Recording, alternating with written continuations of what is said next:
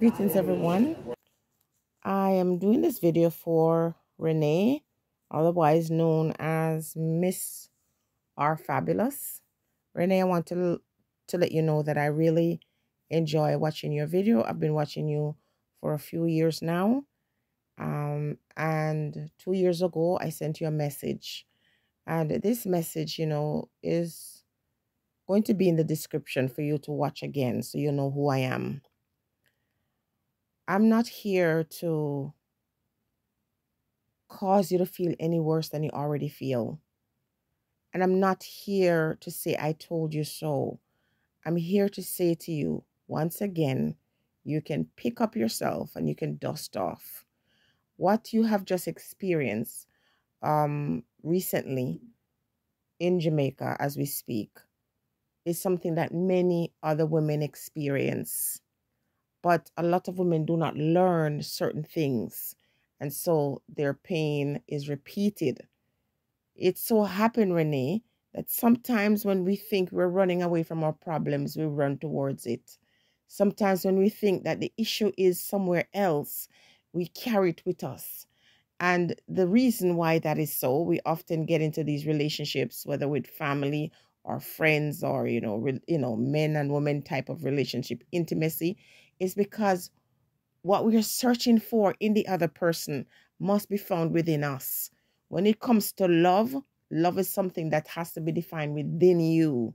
And until you start to really love yourself, Renee, no one else can fill that void for you. It is clear that you've had, you know, a lot of turmoil in your life, a lot of emotional pain in your life. You know, it's clear that you're struggling mentally. And so I can understand you wanting to shift the focus from that internal pain to find someone who you're hoping can help you get over whatever it is that you're struggling with. But you know what? The, the, the happiness that we seek must be within. The peace that we want must exist within. Even in the midst of chaos, if you don't have peace within you, then no one else can help you. And so the lessons you have learned in the past and what you're learning now is very painful. But until you get a hold of yourself, really come face to face with you and your God and ask for divine intervention so that you can then move on from these, you know, tumultuous relationships and these problems where all you do is add more fire to you, to, to your pain.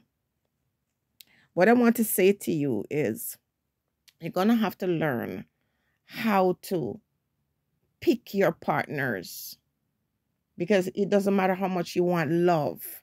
If you're looking for love in all the wrong places, the result is going to be the same. So, you know, in this case where you went to Jamaica and you met this person a year ago or whatever, and you start talking to him, and as you said, there were red flags that you ignored.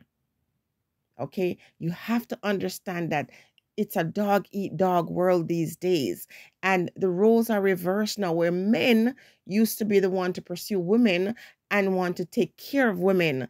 It's different now. There are men, and I'm going to use that word loosely, who will take disadvantage of women and they will be able to partner up with even people they're in relationship with to prey on somebody who's vulnerable you went to Jamaica. It was very clear that you are vulnerable right now, seeking and searching to find yourself. And so individuals, these type of individuals who will latch on to people will then realize that you're vulnerable. They'll already know that you have emotional baggage and so they will attach themselves to you. It is not so much about the person, but it's about the spirits that are attached to these individuals. And I told you before, when you have purpose, expect that if you're not very careful, you'll be led down some long and hard path, as is the case with you right now. There are women in Jamaica who will get together with their men to prey on people who are vulnerable. And a lot of these men don't want to work. So when you're looking for a partner, you have to find somebody who's showing that they're ambitious. The person doesn't have to have a lot of money, but you have to see them doing something for themselves before they even met you. A man who sits around and expect a woman to take care of him, give him this, give him that, you know, talk like he's a child. And a lot of these men, and I use that word loosely in Jamaica, these boys in Jamaica, they don't know how to be men because they don't have very good role models. So these individuals that, you know, they prey on other people, not just these young boys, but older men too. They prey on vulnerable women and so when you are in search of love and that love doesn't come from within you, you're going to find all these kinds of persons that are going to just prey on you. When you told the story about going to Negril and about finding that metal in your food, I just had this very strange feeling that somebody was trying to put you up to getting some money. You just couldn't go through with it. So the fact that, you know, you said, I am going to just take another serving that is an indication of what really was happening. You were walking down a very dangerous path with this individual who would have gotten you to do things that you could have ended up in jail. So I'm glad that you didn't listen to him. And I'm not going to say too much about that, but it was very, very clear that this person was a bad influence. Now, I think his relationship with you ended that day because you were not able to carry out the plan that he had you know, getting that quick money and that free money. Avoid men or anybody for that matter who wants free money and quick money and they don't want to work for it. You're working for yours. You're an influencer. You have to do these videos. You have to edit them. You have to post them. This is your job. And so you have to safeguard it. So the fact that you would have given someone access to your account and all these things in such a short time tells that you're very trusting and because you're so trusting, you'll feel pain. Just be grateful that all he got was just a few thousand dollars that you can get back in a few months. You have to listen, Renee. Sometimes we think we know everything, but we don't. We can always rely on our parents, on other people that you trust, that over a period of time you see has your best intention. Do not use this to make you feel ashamed because what happened to you is a common phenomena.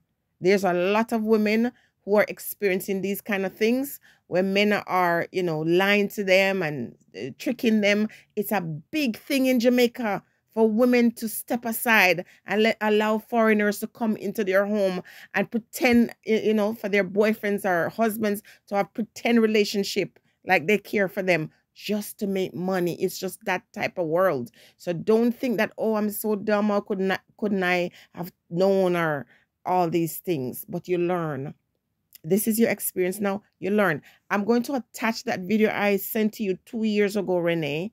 And anybody else who's listening to this video and listen to that video and that message that I sent to Renee two years ago.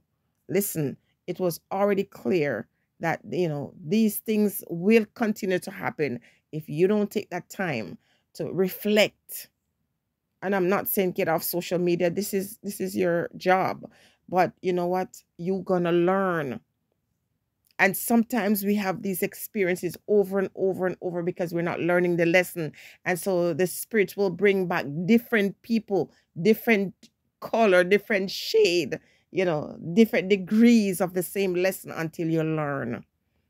I'm not here to condemn you. I'm not here to try to make light of your pain that you're going through. I'm just going to encourage you once more because listen, these kind of things can tip people over the edge.